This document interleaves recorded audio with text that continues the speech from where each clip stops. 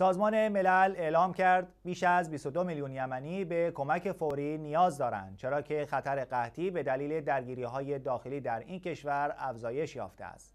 خبرگزاری فرانسه اعلام کرد در گزارش جدید دفتر هماهنگی امور انسانی وابسته به سازمان ملل OCHA اشاره شده 22 میلیون و 200 هزار یمنی یعنی 76 درصد جمعیت این کشور فقیر به کمک فوری نیاز دارند.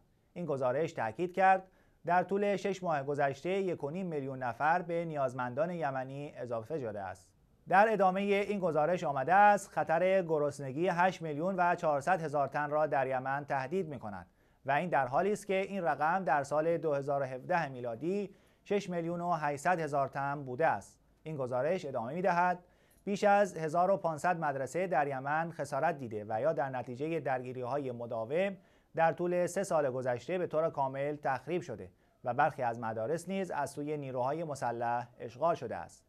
سازمان بهداشت جهانی نیز اخیرا اعلام کرد که شیوع بیماری وبا در این کشور از آوریل گذشته تا کنون منجر به مرگ بیش از 2200 تن شده است. گفتنی است عربستان سعودی در سال 2015 میلادی با تشکیل ائتلافی به یمن که فقیرترین کشور عربی در منطقه خاورمیانه است حمله کرد.